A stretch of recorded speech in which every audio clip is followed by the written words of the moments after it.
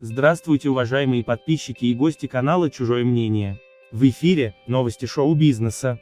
Фанаты продолжают негодовать из-за поступка ведущей «Дома-2» Ксении Бородиной и ее мужа Курбана Амарова. На днях Бородина внезапно объявила, что ее семья избавилась от проблемного кота Шантика, который ранее уже успел стать звездой социальных сетей Ксении Бородиной. Ксения рассказывала, что это был проблемный кот, приносивший больше беды, чем радости. Как объяснила Бородина, причина – ужасный характер и невоспитанность питомца. Дело в том, что он гадил в доме, портил мебель и стены, а также царапал детей, и это только часть всех неудобств, которые питомец доставлял звездному семейству.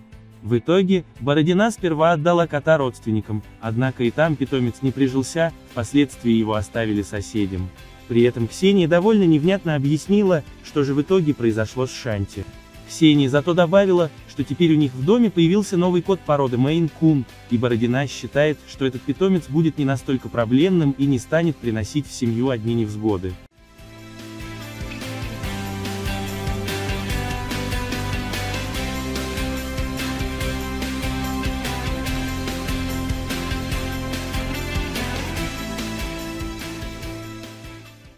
Блогер Лена Мира предполагает, что Ксения с супругом просто выбросили несчастного кота на улицу, так как телезвезда даже не удосужилась внятно объясниться о судьбе питомца.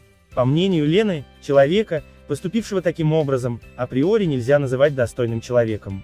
Мира сравнила Ксению Бородину с животным, отметив, что ничего человечного у ведущей ТНТ после того, как она избавилась от питомца, быть просто не может. Чем такая женщина отличается от животного, лично я понять не могу. Зато я четко понимаю другое, плохих котов и плохих детей не бывает. Бывают плохие люди. Я считаю Ксению Бородину очень плохим человеком, злым, завистливым, закомплексованным и инфантильным.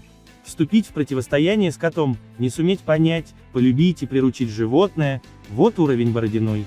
В моей системе моральных координат такой уровень называется днище, выпалила Лена Мира.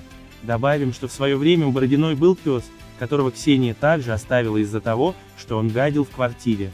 А что вы думаете по этому поводу? Оставляйте свои мысли в комментариях, оцените видео лайком, не забывайте подписаться и нажать на колокольчик, чтобы не пропустить важные новости. И помните, мы ценим чужое мнение.